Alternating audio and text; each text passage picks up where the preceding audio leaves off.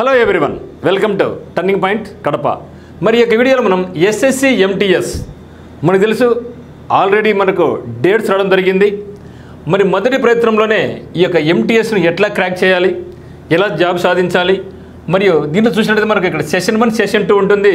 Session one అనేది చాలా చాలా సింపుల్గా నేను చెప్పిన విధానంలో ఫాలో అయితే మాత్రం ఈజీగా పాస్ కావచ్చు. దాన్ని కూడా ఎట్లా పాస్ కావాలని చెప్పడం జరుగుతుంది. మరి సెషన్ టూకి ఏమేమి చదవాలి ఎట్లా చదవాలి ఎన్ని రోజులు ప్రణాళిక వేసుకోవాలి ఇవన్నీ కూడా ఇక్కడ నేర్చుకుంటాం. అదే మాదిరిగా ఇక్కడ లిమిటేషన్స్ ఆఫ్ ద సబ్జెక్ట్ గురించి కూడా తెలుసుకుంటాం. రీజనింగ్ ఎంతవరకు చదవాలి? మ్యాథమెటిక్స్ ఎంతవరకు చదవాలి? జీకే ఎంతవరకు వెళ్ళాలి? ఇది. సో అట్లా చూస్తే మనకు ఆల్రెడీ తెలుసు ఎగ్జామినేషన్ డేట్స్ వచ్చేసి మనకు thirty zero nine twenty twenty four నుంచి fourteenth eleven twenty twenty four వరకు ఎంటీఎస్ ఎగ్జామ్ జరగబోతున్నాయి. సీజర్ అయితే మాత్రం మనకు nine nine twenty twenty four నుంచి twenty six nine twenty twenty four జరగబోతున్నాయి. అయితే ఈ యొక్క వీడియోలో మనం కంప్లీట్గా ఎస్ఎస్సి గురించి మనం చూడబోతున్నాం. మొత్తం vacancies five nine thousand five eighty three. మొత్తం వచ్చిన అప్లికేషన్ సంఖ్య యాభై ఏడు లక్షలు. అయితే దాంట్లో దాదాపుగా ఫార్టీ పర్సెంట్ మెంబర్స్ లేదా ఫిఫ్టీ పర్సెంట్ మెంబర్స్ వచ్చారు. ఎగ్జామ్ రాయరు. మీరు ఆ యొక్క నెంబర్ అయితే మీరు చూడగలకండి మన యొక్క ఫోకస్ మీరు చేసుకోండి. అయితే మరి ఇక దీంట్లో మనకు session one and session two ఉంటుంది. ఇక ఎంటీఎస్లో సింగిల్ స్టేజ్ ఎగ్జామినేషన్. మళ్ళీ మెయిన్స్ ఎగ్జామ్ ఉండదు. మనకు session one and session two ఉంటుంది. మరి సెషన్ వన్ ఏముంటుంది సెషన్ టూ ఏముంటుంది చూద్దాం. సెషన్ వన్ చూస్తే అరిథమెటిక్ మరియు జనరల్ ఇంటెలిజెన్స్ అండ్ రీజనింగ్ మాత్రం ఉంటుంది. అయితే అరిథమెటిక్ వచ్చేసి మనకు ఇరవై క్వశ్చన్స్ ఉంటాయి అరవై మార్కులు. అంటే ఒక్కదానికి మూడు మార్కులు అనమాట అదే మాదిరిగా జనరల్ ఇంటెలిజెన్స్ అండ్ రీజనింగ్ కూడా ఇరవై క్వశ్చన్స్ ఉంటాయి అరవై మార్కులు అనమాట మొత్తం అయితే వన్ ట్వంటీ మార్క్స్కు నలభై క్వశ్చన్స్ ఇస్తారు. అయితే ఇది మీరు గమనించండి ఇది ఓన్లీ క్వాలిఫై మార్క్ మాత్రమే. ఇది మనకు ఎగ్జామినేషన్లో ర్యాంకును డిసైడ్ చేయదు. అయితే మినిమం క్వాలిఫై కావాలి. ఓన్లీ క్వాలిఫై మార్క్ మాత్రమే. ఎంత కావాలంటే జనరల్ వాళ్ళు ఎత్తుకుంటే ఫార్టీ పర్సెంట్ మిగతా వాళ్ళు చేసే థర్టీ ఫైవ్ పర్సెంట్. ఇది సింపుల్గా మనం పాస్ కావచ్చు. ఇలా వివరిస్తాను మీకు. అయితే గమనించండి ఇంకా నెగిటివ్ మార్క్ లేదు. సో నెగిటివ్ మార్క్ లేదు. అట్లా ఎత్తుకుంటే మనకి ఎన్ని మార్కులు చూడండి ఇక్కడ? అరవై. వన్ ట్వంటీ మార్క్స్ కదా. సో వన్ ట్వంటీలో ఫార్టీ పర్సెంట్ కదా మనకు కలిసింది. Twelve fours forty six. ఓకేనా? So one twenty into forty percentage అనమాట ఓకేనా? So zero zero cancel zero zero cancel ఎంత మనకు కలిసింది? ఫార్టీ ఎయిట్ మార్క్ కావాలా? ఓకే. అంటే ఫార్టీ ఎయిట్ మార్క్ వస్తే మనము పాస్ అయినట్లు. ఫార్టీ మార్క్ వస్తే మనము పాస్ అయినట్లు. మరి ఇక మార్క్ మనకు వస్తుందా రాదా? అనుకుంటే ఈ మార్కును తెచ్చుకోవడం చాలా చాలా చాలా సులభం. ఎందుకంటే ఒక రీజనింగ్లోనే చాలా ఈజీగా ఉంటుంది. రీజనింగ్లో క్రాక్ చేసి పడేయచ్చు మీరు. రీజనింగ్ మనకి ఎన్ని క్వశ్చన్ ట్వంటీ క్వశ్చన్స్ ఒకదానికి ఎంత మూడు అరవై మార్కులు కదా? అయితే ఈ యొక్క ఎస్ఎస్సి రీజనింగ్ అనేది చాలా చాలా ఈజీగా ఉంటుంది. ఇరవై ఇరవై కూడా మీకు కరెక్ట్ చేసుకునే అవకాశం ఉంటుంది. అంటే కంప్లీట్గా మనం అరిథమెటిక్ నెగ్లెక్ట్ చేసినా కూడా రీజనింగ్ చేసుకోవచ్చు. అట్లన్న పోని ఒకవేళ మీరు దీనిలో పదహారు క్వశ్చన్స్ చేసుకోండి. పదహారు మూడు ఎంత? నలభై ఎనిమిది గ్యారంటీ అంత ఈజీగా ఉంటుంది. ఒకవేళ మళ్ళీ ఈ యొక్క అరిథమెటిక్లో ఇరవై క్వశ్చన్స్ ఉన్నాయి కదా మీకు ఏమీ చేయాలా? అన్నీ కూడా ఇరవై క్వశ్చన్ బి బి పెట్టుకో లేదంటే సిసిసి పెట్టుకో. అట్లా పెట్టుకున్నా కూడా డెఫినెట్గా మనకు ఐదు క్వశ్చన్స్ కరెక్ట్ అవుతాయి. ఐదు క్వశ్చన్స్ ఇంటూ మూడు ఎంత? ఐదు మూల పదిహేను మార్కులు మళ్ళీ వచ్చేసి అది అడిషనల్గా మనకు వచ్చేసినట్లే. కాబట్టి సెషన్ వన్ గురించి మీరు వర్రీ కావద్దు. చాలా సింపుల్గా పాస్ అయిపోవచ్చు. చాలా చాలా సింపుల్గా మనము పాస్ అయిపోవచ్చు. దీని గురించి మనం వర్రీ అవసరమే లేదు. సో ఇది మనకు ఉన్నటువంటి ఎట్లా ఈజీగా మనం క్వాలిఫై కావాలి సెషన్ వన్ అనేది? ఎందుకంటే నెగిటివ్ మార్క్ లేదు ఓన్లీ క్వాలిఫై మార్క్ మాత్రమే. ఓకే మరియు ఒక రీజనింగ్ ఇచ్చాను. ఈజీగా ఉంటుంది కాబట్టి దాన్ని ఫోకస్ చేసుకున్నా కూడా అయిపోద్ది. అయినంత మాత్రం మీరు మ్యాథ్స్ నెగ్లెక్ట్ చేయండి చెప్పడంలా.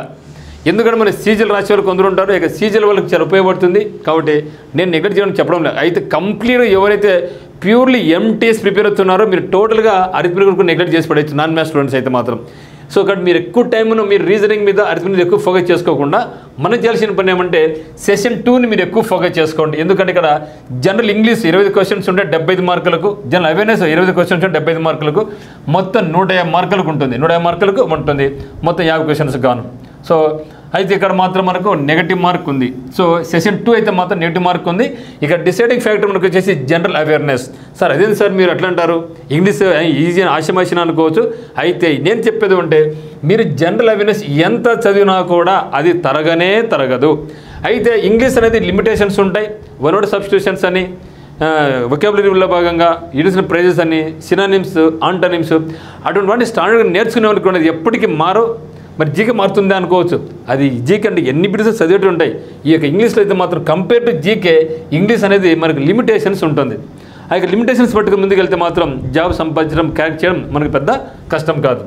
అయితే మరి యొక్క ఇంగ్లీష్లో మనకు ముఖ్యంగా మనం గమనించాల్సింది ఏమంటే number one vocabulary number two వచ్చేసి గ్రామర్ పార్ట్ అయితే ఇక ఎస్ఎస్సిలో ఎక్కువ సిక్స్టీ పర్సెంట్ క్వశ్చన్స్ అన్ని కూడా మనకి ఏముంటుందంటే ఒకేబులరీ బేస్ చేసుకుంటుంది. ఫార్టీ పర్సెంట్ క్వశ్చన్స్ మాత్రమే గ్రామర్ని బేస్ చేసుకుంటుంది.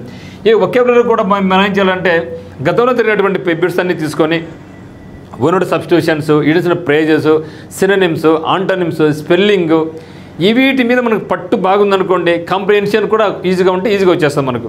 సో గ్రామర్ పార్ట్ పరంగా అంత మరీ డెప్త్ పోయేంత అవసరం అయితే ఉండదు. సీజర్ లాగా బ్యాంక్లో లాగా మనకు డెప్త్ గ్రామర్ ఉండదు. అన్నీ కూడా లేఅవుట్సే ఉంటాయి.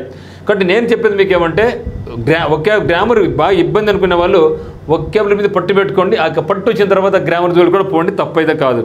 ఎందుకంటే మనకు క్రాక్ చేయాల్సింది ఎక్కువ స్కోర్ చేసుకోవాల్సింది మనం ఎక్కడంటే ఓన్లీ ఇంగ్లీష్లో మాత్రమే జన ఇంగ్లీష్లో సో జనరల్ అవేర్నెస్లో చూసినట్టయితే దీన్ని మీరు మూడు భాగాలు డివైడ్ చేసుకోవచ్చు. మనం ఒకటి స్టాటిక్ జీకే ఒకటి నెక్స్ట్ కరెంట్ అఫైర్స్ కూడా అదర్ సబ్జెక్ట్స్ అయితే ఇక్కడ మీరు దేనికి ఎక్కువ ఇంపార్టెన్స్ ఇవ్వాలి? ఇక లిమిటేషన్స్ ఎంతవరకు పోవాలంటే స్టాటిక్ జీకే దాదాపుగా మీకు ఫిఫ్టీ పర్సెంట్ క్వశ్చన్స్ అక్కడి నుంచి వస్తాయి.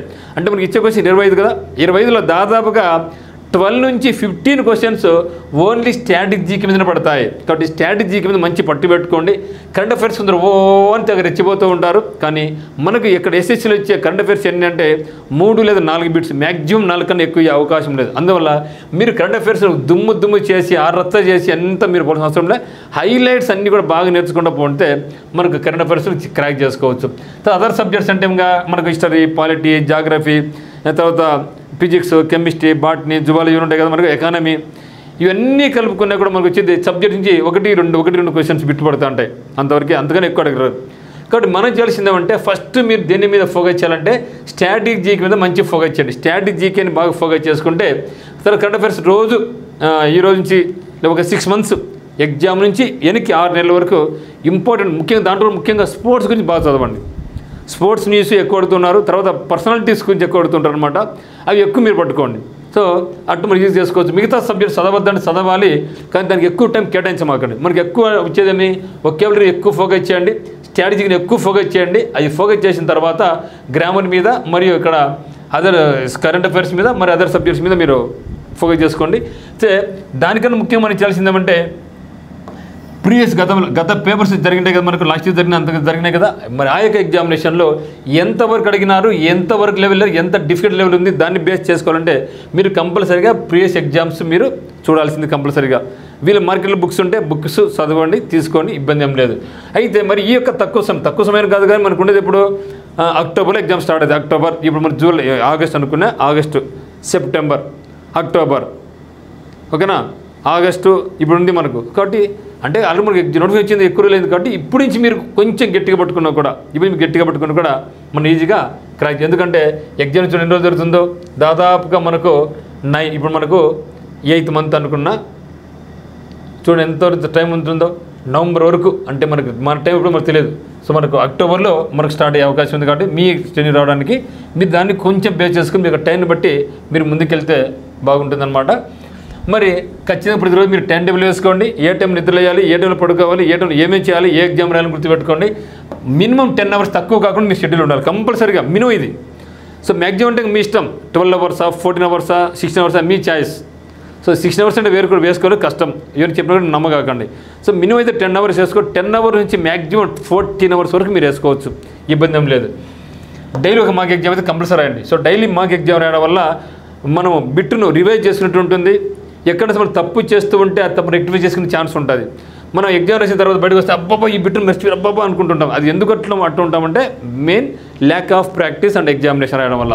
ఇది మిత్రమా? సో మనకి టర్నింగ్ పాయింట్ కొంచెం అంటారు నందు. ఎస్ఎస్సి సీజల్ ఎంటీఎస్ జీడీకి అది మన ఆర్ఆర్బీ నుంచి అయితే ఎన్టీపీసీ గ్రూప్ డి ఆర్పీఎఫ్కు మనకు కోచింగ్ జరుగుతుంది. ఫ్రీ గ్రౌండ్ ఫీజులు కూడా మనకు ఉందన్నమాట ఎవరైతే మన స్టేట్ గవర్నమెంట్లో ప్రిపేర్ అవుతూ ఉంటే కానిస్టేబుల్ ఎగ్జామ్స్కి వాళ్ళకి ఉంటుందన్నమాట. ఇక్కడ ఒకసారి చూస్తే all complete exam batch start అయింది మనకు టర్నింగ్ పాయింట్ అందు. దీంట్లో ఏం చేస్తుంటాం ఎస్ఎస్సి సిజిఎల్ సిహెచ్ఎస్ఎల్ ఎంటీఎస్ సిపోకు మరి ఆర్బీ తీసుకుంటే ఎన్టీపీసీ ఆర్పీఎఫ్ గ్రూప్ డి మీరు మీరు అనుకోవచ్చు అన్నమాట ఇక్కడ చూస్తే ఇక్కడ Caesar level is equal to RRB NTPC అన్నమాట. ఇక్కడ RR SSC MTS level is equal to here RRB group D ఇది లెవెల్స్ అనమాట ఇది రెండుకైనా తేడా ఉంటుందంటే ఏం తేడా ఉంటుంది మిత్రమా? ఎస్ఎస్సి ప్రిపేర్ అయ్యే ఇంగ్లీష్ కూడా చదవాలి అదనంగా ఆర్ఆర్బీలో ఇంగ్లీష్ అనేది ఉండదు. ఆ రెండు తప్పితే మీద సేమ్ టు సేమ్ అందువల్ల మనం మీరు ప్రిపేర్ అయ్యే వాళ్ళు రెండింటి కూడా ప్రిపేర్ అయ్యే విధంగా మేము మీకు ఎస్ఎస్సి పరంగా అయితే ఆర్ఆర్బీ పరంగా ఎగ్జామ్స్ కూడా పెట్టడం జరుగుతుంది అనమాట తర్వాత police constables S and constables పరంగా కూడా మీరు ఈ బ్యాచ్ మీరు కూర్చోవచ్చు. ఎందుకంటే ఇప్పుడు నోటిఫికేషన్ ఇప్పుడు లేదు కాబట్టి లేట్ అయ్యే అవకాశం ఉంది కాబట్టి అందరూ మనం టైం వేస్ట్ చేసుకోకుండా ఇవి కూడా ప్రిపేర్ అవుతూ ఉంటే అక్కడ మనకి ఈజీగా ఉంటుంది. అయితే దీనికి సంబంధించి ఒక ఆల్ కమిటీ బ్యాచ్ ఫీజు ఎంత అంటే పదిహేను వేల రూపాయలు ఉందన్నమాట. ట్వెల్వ్ మంత్స్ వ్యాలిడిటీ ఇది. So twelve months validity print and material మీకు అవడం జరుగుతుంది. ఆఫ్లైన్ ఎగ్జామ్స్ ఉంటాయి ఆన్లైన్ ఎగ్జామ్స్ కూడా జరుగుతూ ఉంటాయి అనమాట సో ముఖ్యంగా ఈ యొక్క ఆర్ఆర్బీ కానీ ఎస్ఎస్సి కానీ ప్రిపేర్ అయ్యే వాళ్ళకి జీకే అండ్ ఇంగ్లీష్ చాలా కష్టం అనుకుంటూ ఉంటారు. సో అది జీకే అండ్ ఇంగ్లీష్ అని మేము స్పెషల్ ఫోకస్ మీకు చేయడం జరుగుతుంది. మరి ఎస్ఎస్సి జీడీ మీద కూడా స్పెషల్ బ్యాచ్ రన్ అవుతుంది. ఈ యొక్క బ్యాచ్ దీనిలో కలపం అనమాట స్పెషల్ బ్యాచ్ ఉందన్నమాట. దీనికి ఫీజు వచ్చేసి పదివేల రూపాయలు ఉంటుంది. సిక్స్ మంత్స్ డ్యూరేషన్ ఎందుకంటే మనకి ఈ మంత్ నోటిఫికేషన్ రాబోతా ఉంది కాబట్టి దీనికి డ్యూరేషన్ వచ్చేసి మనకు సిక్స్ మంత్స్ ఇవ్వడం జరుగుతుంది. ప్రింట్ అండ్ మెటీరియల్ ఇవ్వడం జరుగుతుంది. ఆఫ్లైన్ ఎగ్జామ్స్ ఆన్లైన్ ఎగ్జామ్స్ ఉంటాయి. ఫ్రీ గ్రౌండ్ ఫెసిలిటీ మీకు ఉంటుందన్నమాట. సో ఇది మనకు టర్నింగ్ పాయింట్లో మేము మీకు అందించేటటువంటి ఇన్ఫర్మేషన్ మీకు ఏ డౌట్స్ అయినా కూడా మనకి number eight six eight eight zero eight zero eight zero మీకు కాల్ చేయండి. So thank you